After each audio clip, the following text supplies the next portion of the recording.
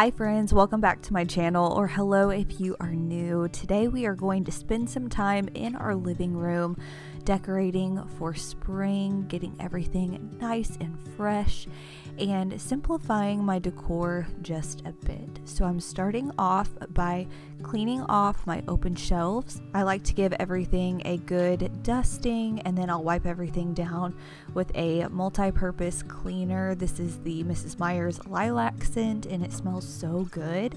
Next, I'm going to be adding in some faux plants. I also have this little vintage clock that I recently picked up from a vintage spring market. If you want to see that video, I will link it down below. But I also have this basket that I'm adding some tulips in and a little doily, another find I got from that vintage market, just to kind of add a cottage touch something a little girly. I feel like having that little feminine flair in my decor is something that I'm longing for this time of year. I also have this really pretty gold open frame that I'm just using to layer in with some vases and I'm adding lots of tulips everywhere. I know tulips are almost out of season, but I still love them. So I'm adding those to vases. And then once it gets a little bit warmer in the summer months, I will switch those florals out. I also have a little landscape picture and then a few different gold pieces. These are just little containers. One I figured I could put some matches in. And then the other I might put a faux plant or I may just leave it. I don't know. I kind of like the simplicity. I'm also adding this really neutral pillow to one of our chairs. I'm going to clean off our mantle Fun fact this is just a piece of cedar that we had left over from our porch. So it's very rough. It's not sanded down or anything, which I love that rustic look, but it does make it a little tricky to clean.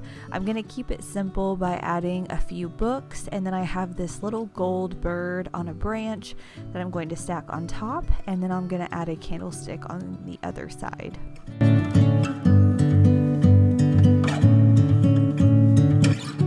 Going to dust everything off, including all of my faux plants.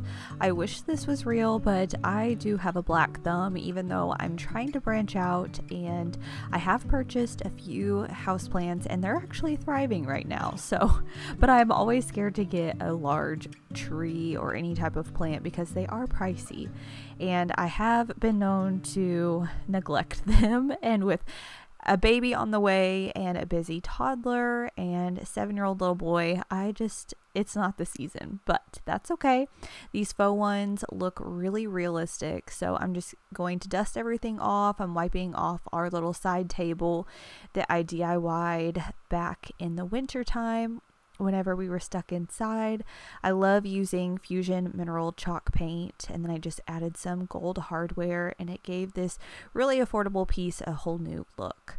Now I'm going to clean off our coffee table. Even if you keep your spring and summer decor very simple, there is something about cleaning it really well that just makes the space feel fresh. So if you do nothing else, um, just cleaning everything off really good, getting in all the nooks and crannies, wiping all of the pieces down, it will feel so much better. Now I have some really simple greenery stems. I believe these were from Hobby Lobby and a few more coffee table books. This candle I actually picked up from Tractor Supply. It's in the garden sage scent and it smells really good and fresh. So getting me very excited to start our garden, which will be in the next few weeks after our last frost. Moving on to the built-in shelves on the other side of our fireplace, um, I'm going to keep most of this decor the same. I am going to take out some of the darker pieces though, just so it's a little bit lighter and fresher for this time of year. I have lots of books I'm going to leave out and vases. I have a paper mache bowl that I DIY'd. I have that in a video if you'd like to see a tutorial on that. Um, and then I'm going to wipe everything down again, get it nice and clean. And then we're going to add in a few new pieces. One being this really cute white vase that I picked up from that vintage market, a faux house plant, a watering can, things that nod to spring and summer. I also found this beautiful art piece from Home Goods that has different types of flowers. I'm adding lots of greenery and a few floral stems and I feel like it just gives that springy cottage touch. You can never have too many stems or florals. Now I'm going to add some lighter textiles and pillows to our couch. I have this very lightweight quilt. It's so soft and not that heavy. So I'm going to put that on the couch as well as a few different pillows. I love getting pillow covers from Amazon. That taupe gingham one came in a two pack from Amazon. It's in a euro size, so I just had some pillows already on hand that I put inside of them. I will link them down below as well as everything that I love from Amazon, but these are so soft and cozy and really nice to curl up with. I also like to use more lightweight gauzy blankets this time of year. So that gingham one was from Target a few years also have one thrown on the side